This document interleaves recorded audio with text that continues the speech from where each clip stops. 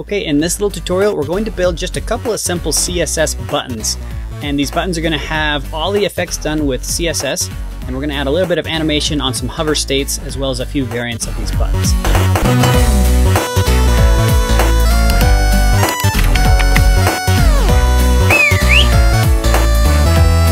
So you can see here that HTML is fairly simple. I've just got four simple anchor tags here, and each of these anchor tags share the class of button. We're going to use that class for our base styling for all of our buttons, and then we'll add some variations uh, of these button sets on different class names. So let's go ahead and jump over here to our style sheet, which is right now blank. And we'll just do a little bit of boilerplate code here to uh, change the body. So let's go ahead and give this a background. And we're going to set this to the color of 373939. And let's just give next a little bit of padding of 50 pixels. Okay, so you can kind of see over here the preview, it's a little bit dark right now. So why don't we just, for the sake here, go ahead and give these guys some color as well. So we can actually see that button text while we're coding along here. And we're just gonna go 404040 and call that good. Okay, so what we want to do next, you can see these links are all purple. The reason why they're purple by default is because we actually don't have an anchor. Uh, so, so they're kind of showing as if they were already visited. So that's kind of why those guys are purple there. Okay, next let's go ahead and say dot button. Remember this is the main class for our, our buttons here. We're going to switch the display to inline dash block for these little guys. And we'll save that. And let's go ahead and set the padding on these. We're going to set padding uh, to 10 pixels, 25 pixels. That's 10 on the left and right, 25 on the top and bottom. And just so we can see these, we're going to go ahead and set the outline to one pixel solid red. And this just kind of shows you the dimensions of these buttons as we're sort of fleshing them out so you can kind of see how they look there. Next, let's go ahead and give these guys a bit of, we're going to take off that underline. So let's say text decoration none. That gets rid of the underline on the links. And then let's go ahead and give these guys a color. Let's just make these 111.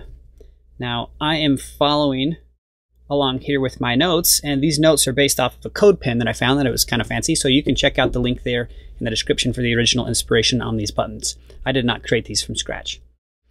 Uh, next let's go ahead and uh, set our text align. So we're going to set text align to center. That's going to make sure that all of the button text sits right in the middle of our buttons instead of left or right. And then let's go ahead and give these guys a shadow. So we're going to use the text shadow property. And it's going to be 0, 0, 2 pixels, which means 0 offset horizontally, 0 offset vertically, 2 pixels of blur. And then it's going to be an RGBA value. We're going to use uh, 255, comma, 255, comma, 255, comma, 1. 1 meaning 100% uh, opacity. So basically that's a white. 255, 255, 255, 1. So that color is white. And next, let's go ahead and give this guy a background color so we can now start to see them. Background color, we're going to set to CCC. Okay, so now that we have that back color in place, I'm going to go ahead and delete that outline. That was just a simple placeholder, and now we can sort of see those buttons uh, spaced out there. Okay, let's go ahead and give these guys a bit of a margin just to push them away from one another. So we're going to say margin dash bottom, and let's just say, I don't know, 25 pixels or something like that, just so they're not all stacked on top of one another. And that looks fine there. Next, let's go ahead and give these guys a uh, background clip.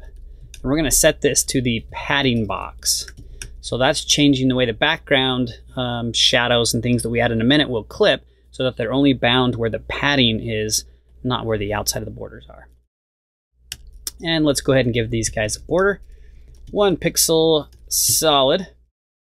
And we're, we're not going to define the color here. We're just going to do the two values because we're going to define separate colors for our each border uh, as we go. So normally you'd say one pixel solid red or something. In fact, I'm just going to illustrate this red that would give all sides a red border. But if we omit that, then I'm able to specify the sides of the border color in a separate property. So that's what we're going to do here, border color, and I'm going to declare this in three values. So the first value is going to be 202020, and you can see that right now that's applying to all sides.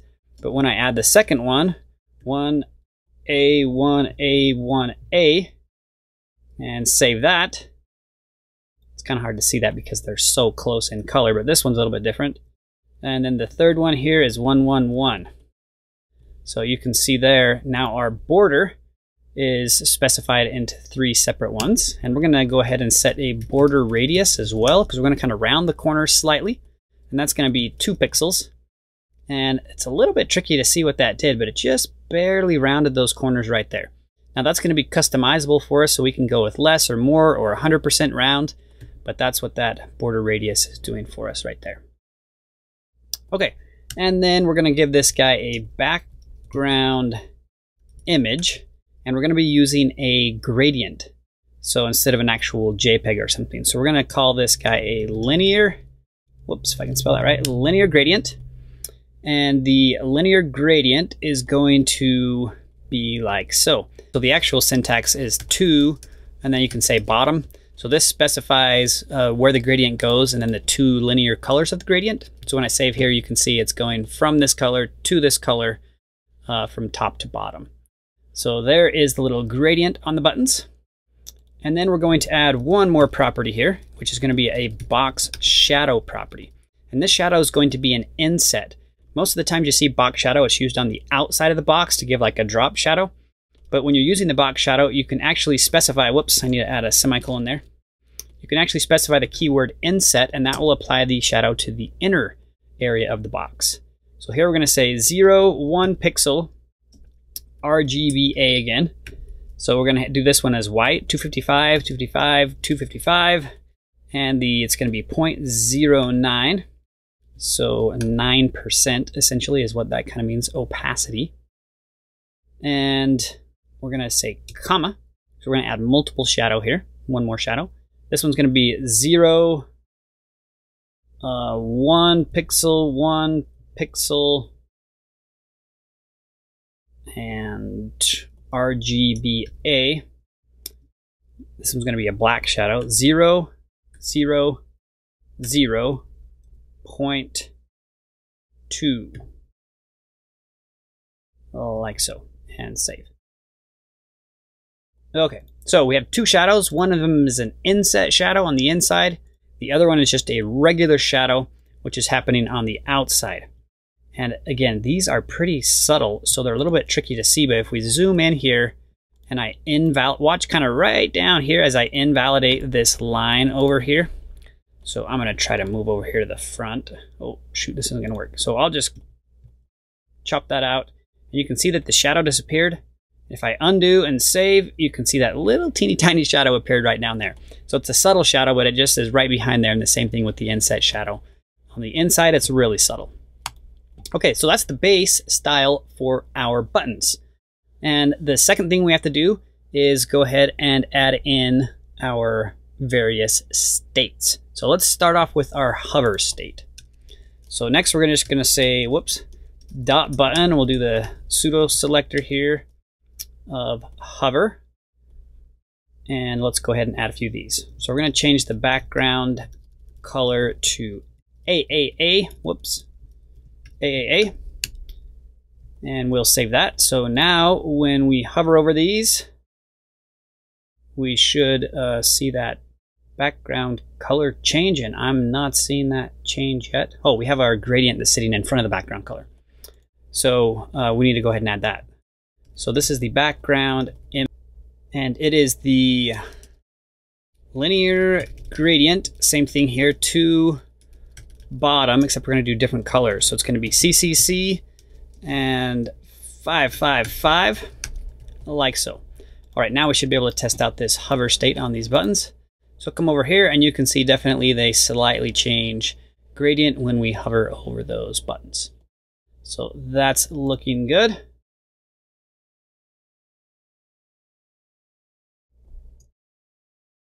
Okay, and next let's go ahead and add the active state. So the active pseudo selector here, which is colon active, and we're going to do this one as a group selector, also button dot active, so that we'll be able to add that active class name on any button that we want to have be our current button as well.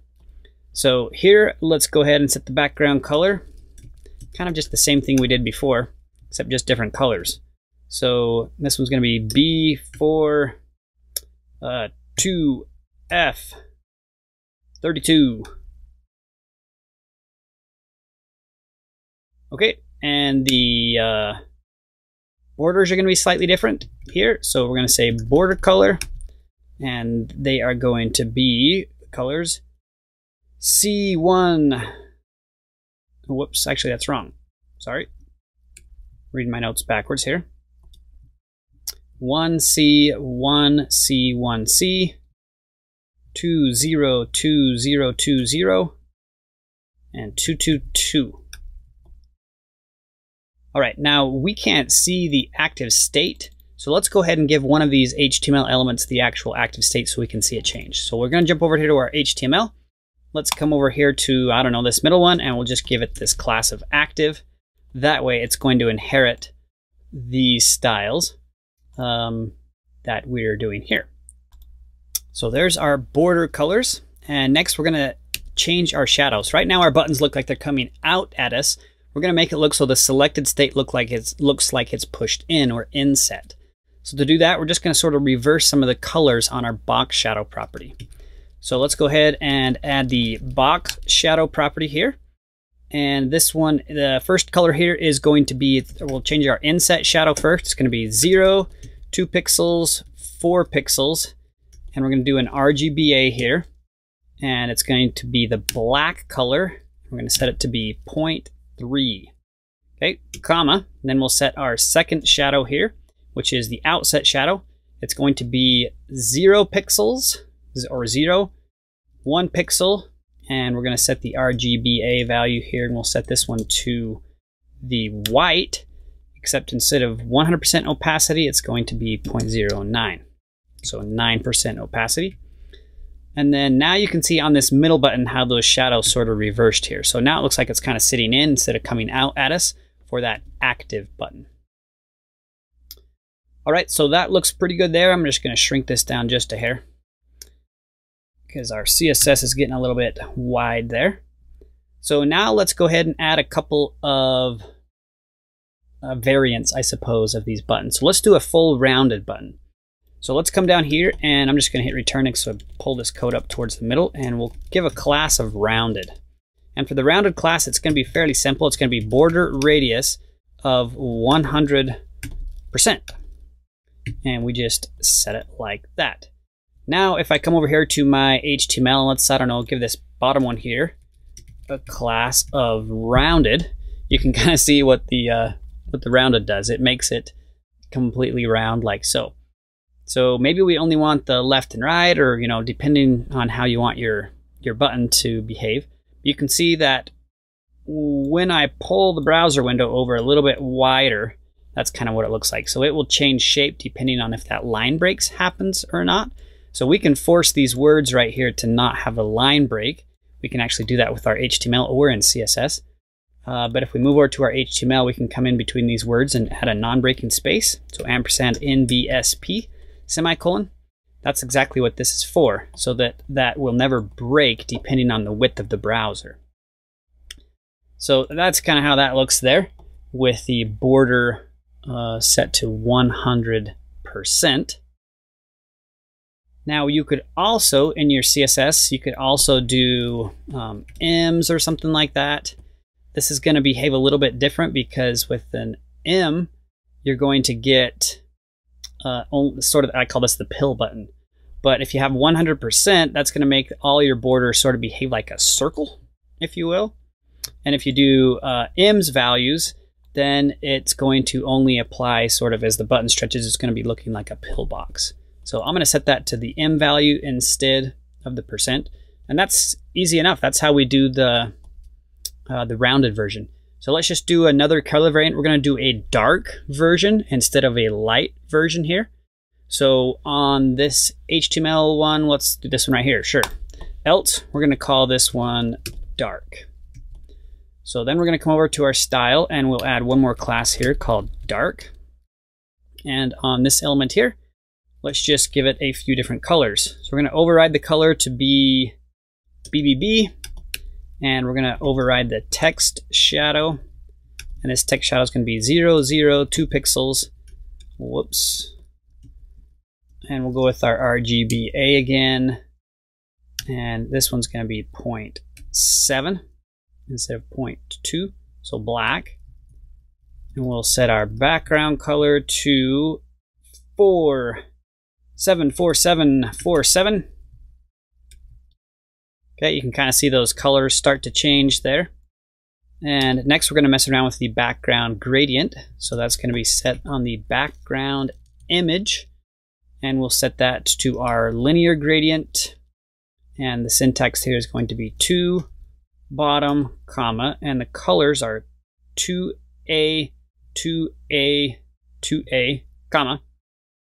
second color 1B, 1B, 1B. And there we go. So there's our dark variant of our button. So the last thing we have to do is just finish off the hover state and of this dark button. So let's go ahead and do that one. So we'll say dot dark colon hover. And we'll give this guy a background color of 363636 and the background image, we're going to change the linear gradient um, to a slightly different color here. And to bottom colors for this are going to be 404040 and 2A, 2A, 2A. And whoops, and save.